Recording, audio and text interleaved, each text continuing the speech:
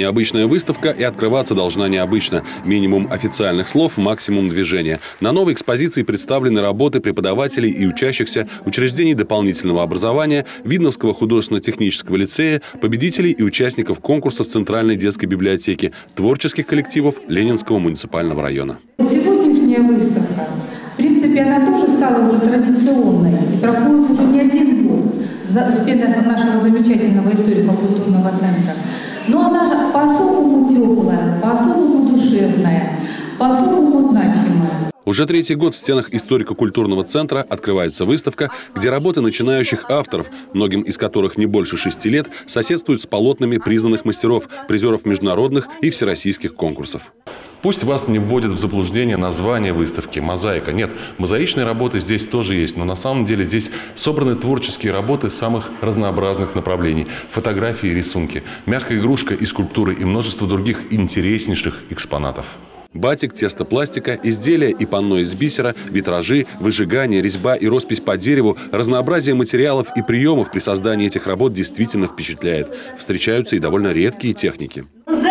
Я хотела бы вам показать еще удивительные вещи, которые, как правило, мы уже вот после этого пиршества и не замечаем. Покажу для вас специально, мне разрешили. Вот эти две маленькие очень милые, очень добрые бабочки. Эти бабочки, они сделаны из пластилина, пластилина графика.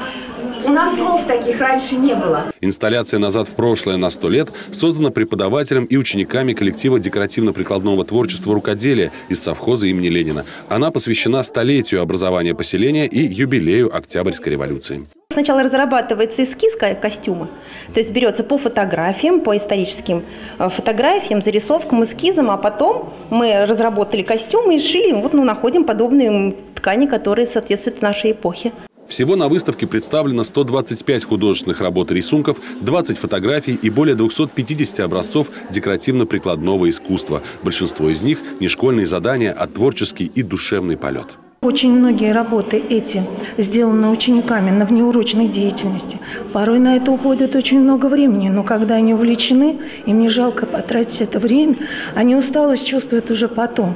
А так они работают с удовольствием. Мне с такими ребятами с удовольствием работается.